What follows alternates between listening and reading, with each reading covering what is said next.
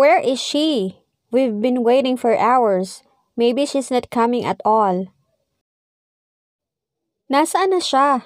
Ilang oras na tayo naghihintay. Mukhang di na siya darating. Let's wait a little longer. Maybe she dropped by somewhere. Maghintay pa tayo saglit. Baka may dinaanan lang siya.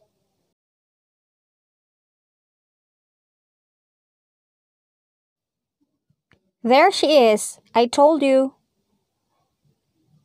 Oh, ayan na pala siya. Sabi ko sa'yo eh.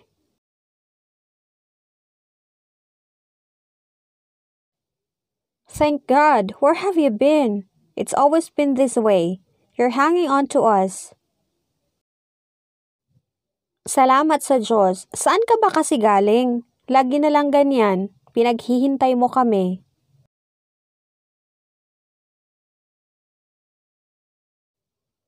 I'm sorry. I just fetched someone. Pasensya na. May dinaanan lang ako.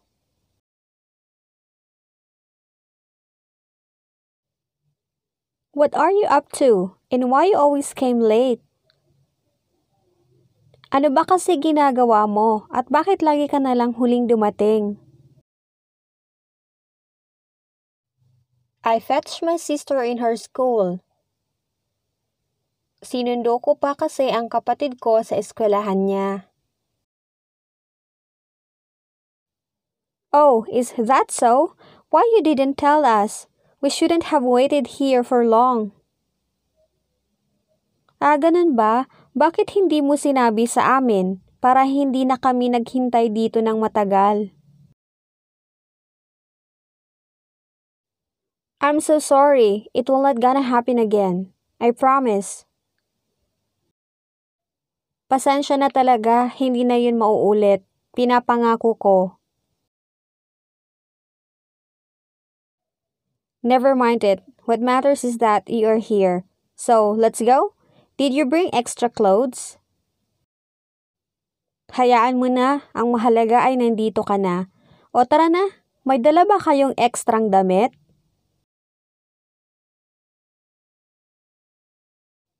Yeah, sure. Are we going to sleep to your house? Oo naman. Sa bahay ba ninyo tayo matutulog? Yes, I actually asked mom if it's okay with her, and she said yes, as long as we're not going to mess up. Oo, tinanong ko si mama kung ayos lang sa kanya. Sabi niya sa akin, oo, basta't huwag lang daw tayo magkakalat.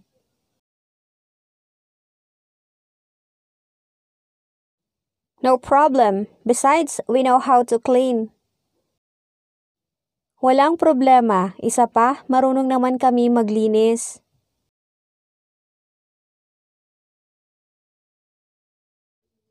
Well, that's good. Mom will be glad. So let's go? Hop in the car?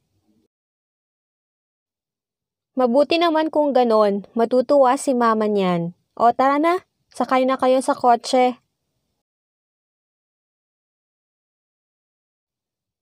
Do you know how to drive? Since when?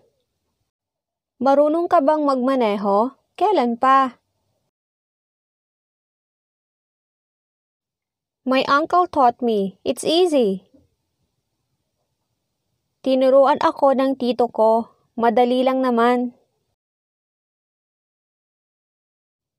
Do you have driver's license?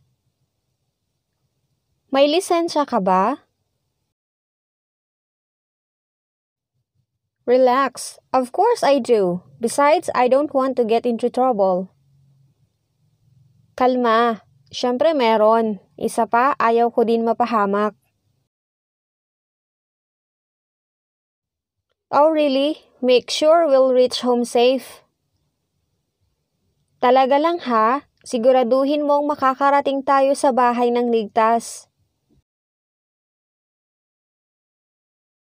Just trust me, okay? Buckle up. Magtiwala lang sa akin pwede. Mag-seatbelt kayo. Okay, you said so. Sige, sinabi mo eh.